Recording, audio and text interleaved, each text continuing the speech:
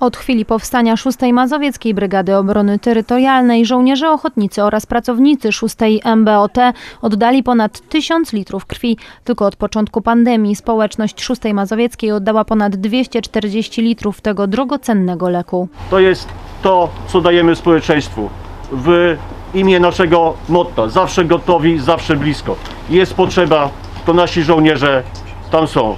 Tutaj na e, chwilę obecną od 7 rano oddajemy krew, gdzie również ponad 80 terytorialców stawiło się po to, żeby w innym miejscu, ale w tym samym e, rejonie odpowiedzialności robić dla społeczeństwa coś wyjątkowego. To są dla mnie mali, wielcy bohaterowie.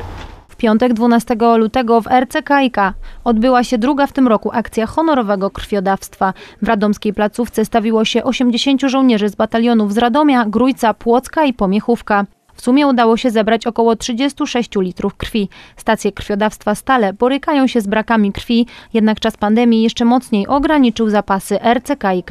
Jak zapewniają terytorialsi, to nie ostatnia zbiórka w tym roku. Warto dodać, że w szeregach 6 Mazowieckiej Brygady Obrony Terytorialnej znajduje się ponad 700 żołnierzy i pracowników, którzy krew oddają regularnie.